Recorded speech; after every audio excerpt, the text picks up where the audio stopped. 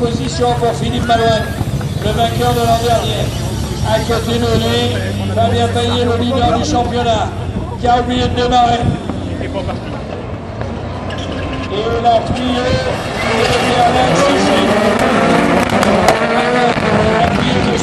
de le pilote du team Sherman Chichrit de Yako, qui attaque derrière avec euh, la Clio noir et orange. En troisième euh, position, Patrick Guilherme.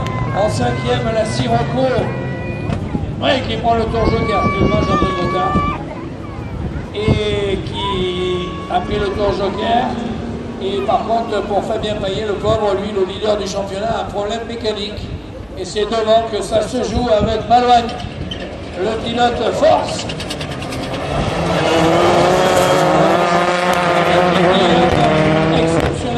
La Sirocco,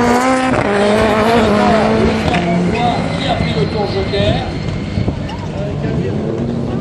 Quand il a son voix, n'oubliez pas que la voiture, la 208 verte, fait et le championnat d'Europe et le championnat de France. D'ailleurs, vous savez tout et vous voyez tout sur Pure Rallycross. Vous voulez tout savoir sur le monde de l'Europe et la France. Et tous les réseaux sociaux euh, de championnat de France de Rallycross par Mathieu Anne, que je salue d'ailleurs. Eh, ton joker pour le leader. Eh ben, à mon avis, euh, il faudrait le prendre plus vite, hein, M. Malouane. Voilà, il va revenir derrière eux et là, il sortira devant. Ah, il sortira devant, moins que Garlin Chichrit, le freerider, euh, gagne 5 secondes de ce coup, mais j'y crois pas. Regardez. La 208 de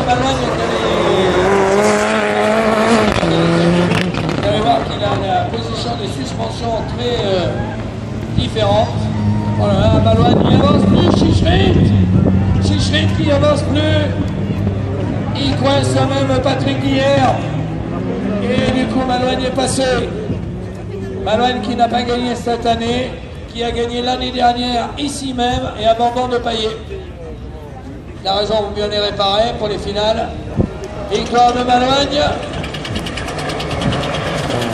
Devant.